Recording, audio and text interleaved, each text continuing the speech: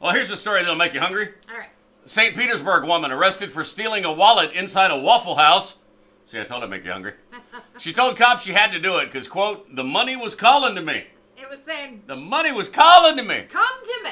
Police say the owner of the wallet paid for their meal and accidentally left it on the counter. Police reviewed surveillance footage and saw 47 year old Juanita Morton looking around and placing her hat on top of the wallet. Then she slid the hat and the wallet into her hands and walked out of the restaurant. Well, that's slick.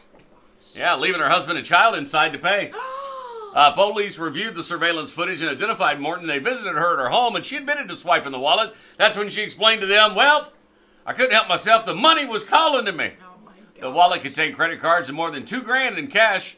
Who goes to Waffle House with two grand in the pocket? Right. Martin, who has a history of theft convictions, was charged with felony grand theft and booked in the county jail.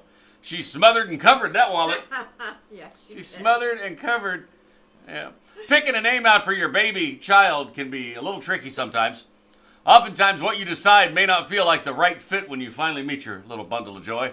But on the other hand, some parents are absolutely sure of the name they want because it symbolizes something that they love. Hmm. Right? Yeah. In Clara and Trey's case, they thought the first name went so well with the last name they just had to choose it for their baby.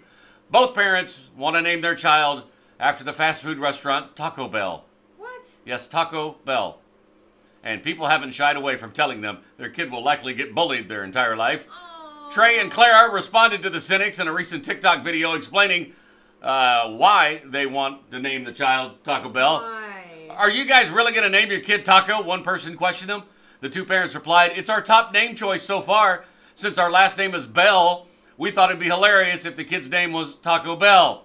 Hopefully, Taco Bell doesn't get bullied, though. Viewers agreed with the couple. The name idea was funny, but thought they'd regret it later. Yeah. Hilarious for now, not when they try to get a job as an adult, one Oh skeptic wrote. gosh.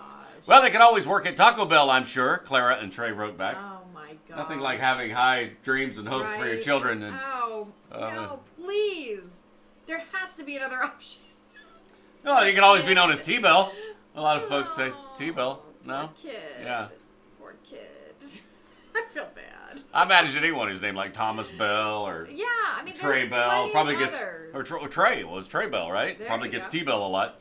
Those are your knuckleheads. You can find those stories and more wherever you get social media. Look for Mel and Scott in the morning.